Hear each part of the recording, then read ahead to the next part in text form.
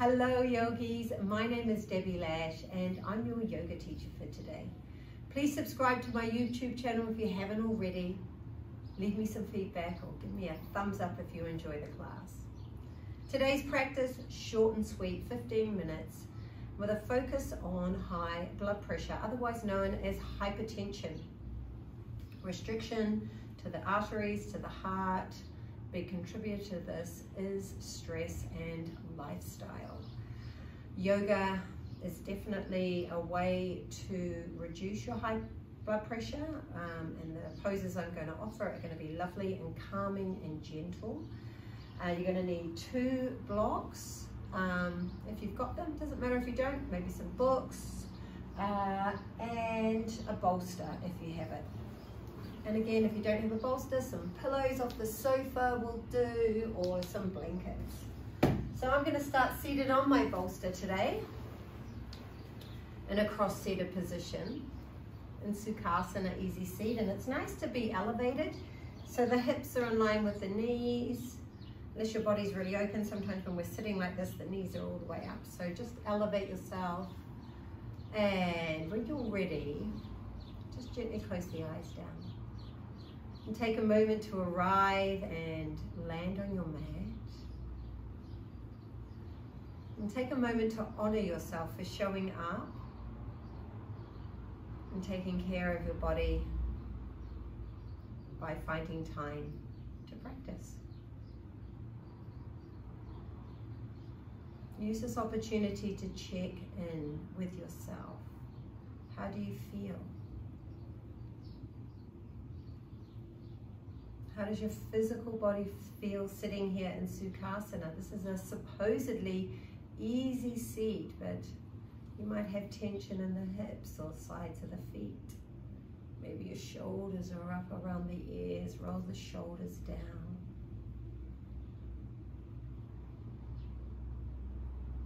drop into some pranayama, a very simple yet effective way to lower high blood pressure.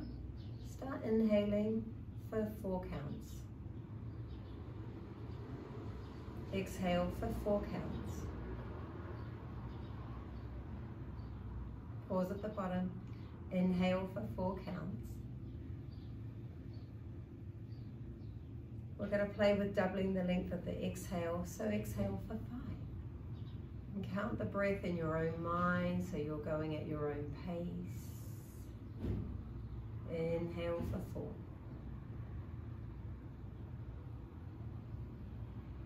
Exhale for six.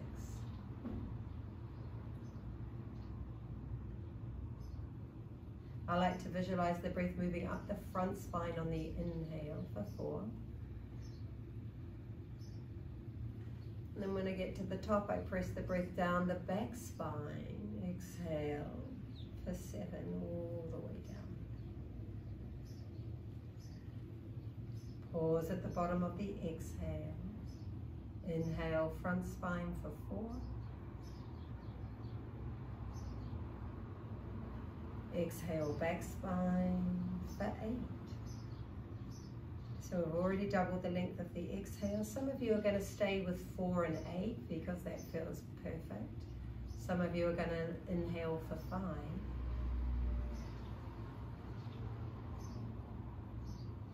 and then exhale for 10. Slowing the breath down and understanding the more that we can breathe out, the more we can breathe in. Inhale four or five.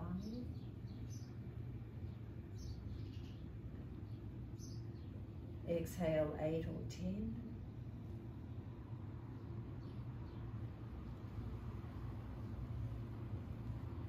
Stay with the breath, just like this.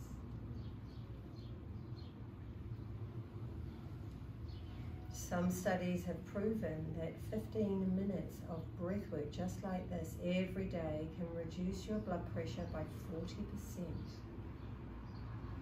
It's quite incredible. Last round, inhale. And exhale, 10.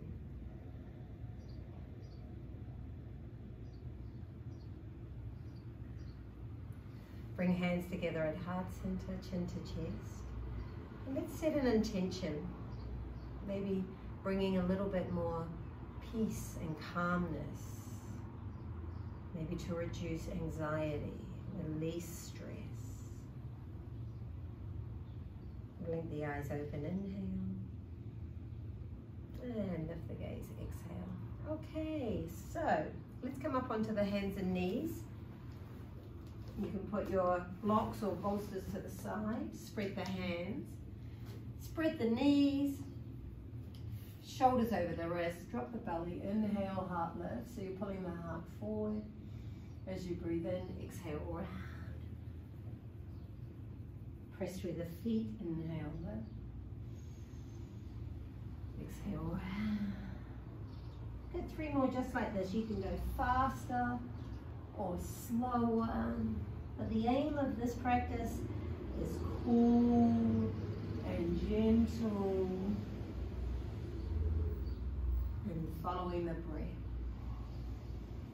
throughout the whole practice. Inhale, heartless. Ready for your first downward facing dog. Tuck the toes under, walk the hands forward, up and back, downward facing dog. Now if you've got tight hamstrings, bend the knees, take the feet wider. You could even bring your box on level one and this feels pretty good. So it's just a bit more length in the arms. So actually I can lengthen my down dog here. And when you feel ready, you're just going to take five cycles of breath. At any point, you could drop your knees to the floor and you could take a child's pose like this. Remember, we're looking for effortless ease. Maybe visualize breathing in through the palms of the hands, up the arms to the heart. And then press the breath down through the back spine, out through the legs, out through the feet. Your biceps are lifting up beside the face. Inhale. Your triceps are rolling down. Exhale. Three more cycles of breath.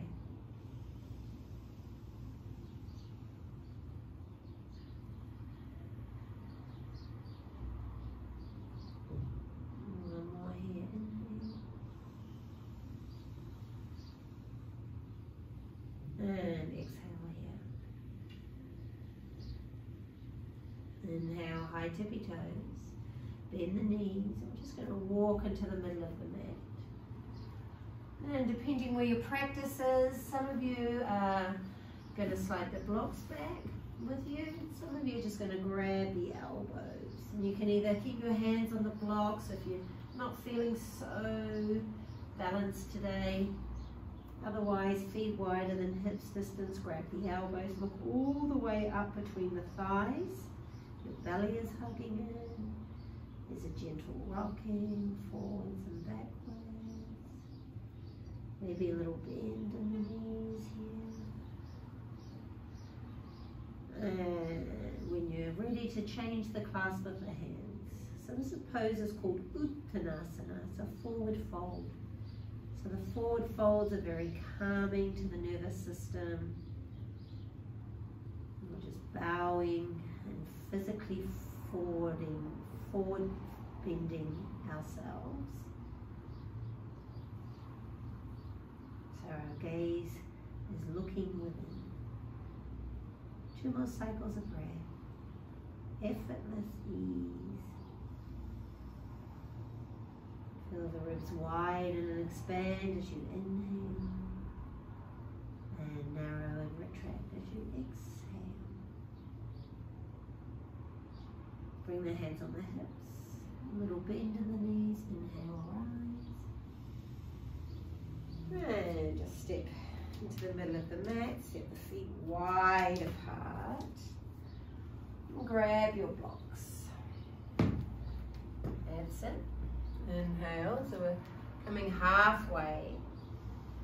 And then maybe stack the blocks here, two at a time. And bring the head onto the blocks. If you needed to make it higher, you could. And maybe you could take the feet wider. Bring the hands on the hips. And just stay right here. Squeeze the elbow heads in so your collarbones have got a smile. Shoulder heads are lifting. And this is a restorative pose with the head on the blocks. It's lovely. You don't even need to have the head on the blocks. But it just brings a central place for you to rest your head so the body doesn't have to work as hard. Most importantly, the heart doesn't have to work as hard.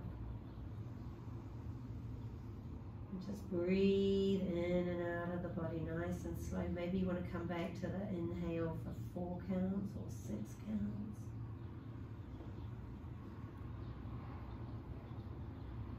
So you're also getting a really nice hamstring lengthener here. If there's any tightness in the hamstrings, just bend your knees and bring in a little effortless ease. Always trying to reduce and take the struggle out of the practice. And maybe you want to, you can take some blocks out.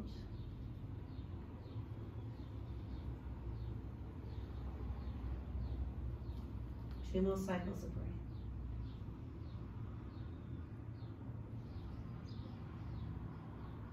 And just calming the nervous system with these forward folds. Also wonderful to balance your hormones in these poses. Inhale, lift the chest. Walk the feet together. Oh, I can really feel my hamstrings. Hands on the hips. Inhale, rise. Good. Step to the top of the mat. Bend the knees. Lift the heels. And come all the way down. So options for the blocks or the bolster here. I'm going to lower into a bridge pose. Inhale, lower down, vertebrae by vertebrae. Option one, if you've got blocks, you can bring it on level one under the sacrum. Level two, or level three. Remember the height is not important. We just want a subtle lift in the heart. But if you've got the mobility and your hips and the back of the shoulders and the hamstrings, then of course be in level three. But if you're new to the practice, level one. And if you've got a bolster and no blocks, you're going to do this. But make sure it's in the sacrum, which is a diamond shape, and it's not in the arch of your back. Roll the shoulders under. And this time visualize the breath coming in through the crown of the head, down the spine. Exhale the breath out through the legs, out through the feet. Stay just like this, inhaling. Super grounding to connect through the earth with the feet on the ground. Exhale.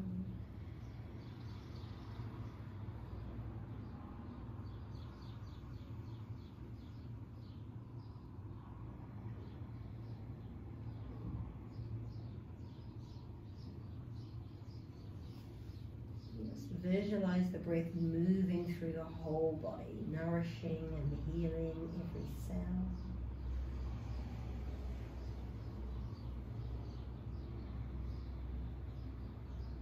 Ah, and you can either stay just like this, or we're going to move into Viparita Karani.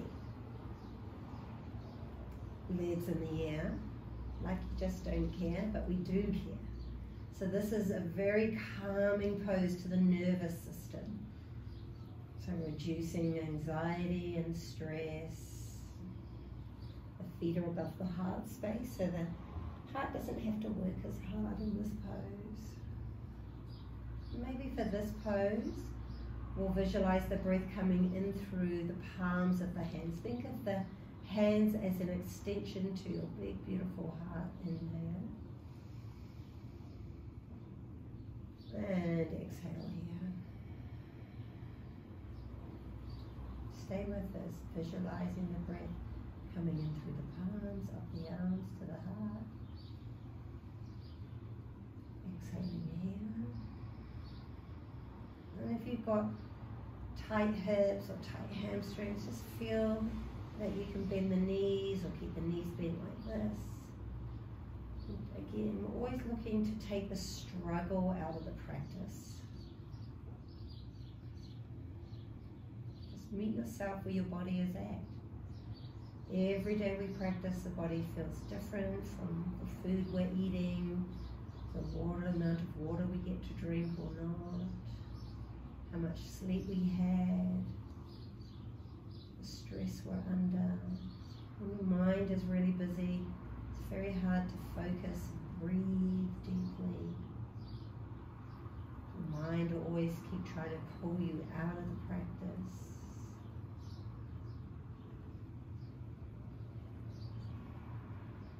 And one more cycle of breath. Bend the knees, put the feet on the floor. Inhale, lift the hips. Exhale, lower down. Walk the feet together. Supta Baddha Konasana. And left hand on the heart, right hand on the lower belly. Big toes pressing in. Inhale for six counts. And exhale for six counts.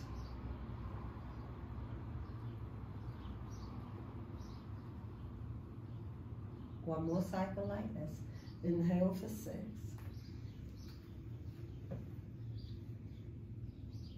Exhale for six.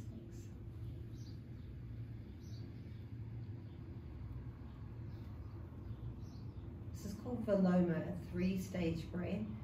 It's one breath to the top and we put in three pauses, one at the navel, one at the bottom of the sternum, one at the top. So, inhale for two counts.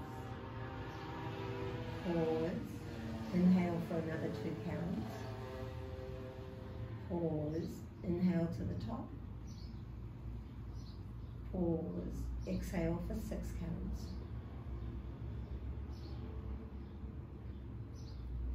Pause at the bottom of the exhale. Inhale for two. Pause. Inhale for another two. Pause. Inhale to the top. Pause. Exhale for six.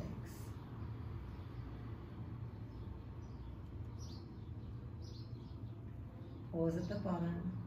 Inhale for two. Pause. Inhale for another two. Pause. Inhale to the top. Pause. Exhale for six.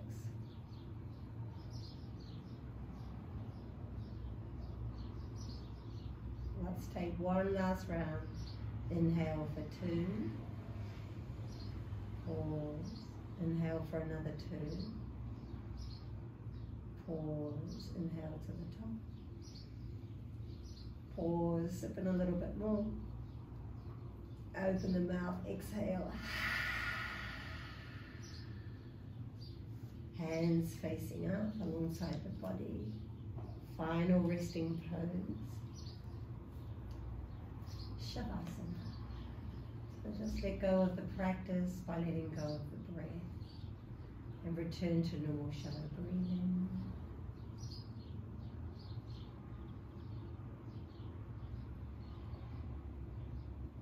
Surrender to the moment.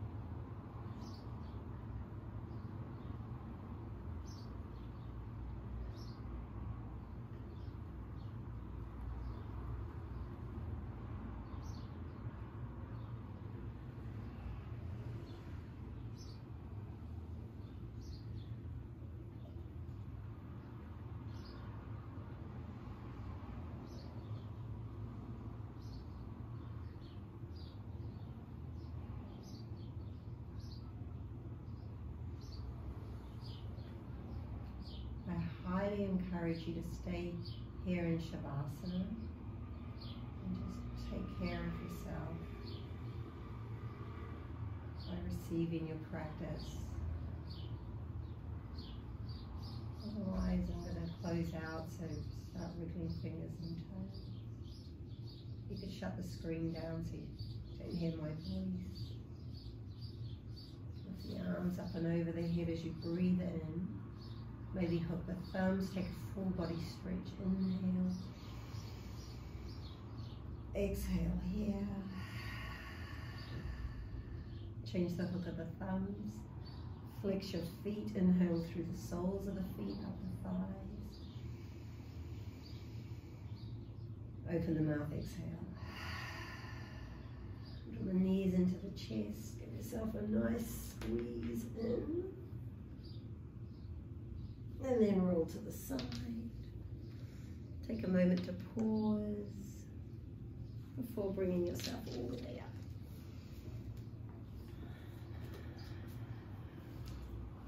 And we're right back full circle where we started. Just close the eyes down. Notice the shift of energy. Notice the shift in your mindset. Notice the shift physically in your body.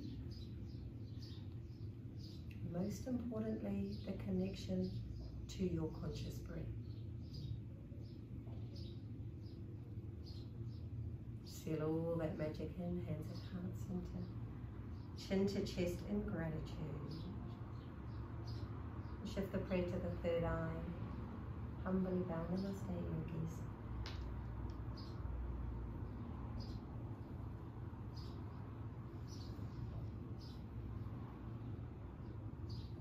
Take care of yourself. Remember 15 minutes of conscious breathing every day can help lower your blood pressure by 40%.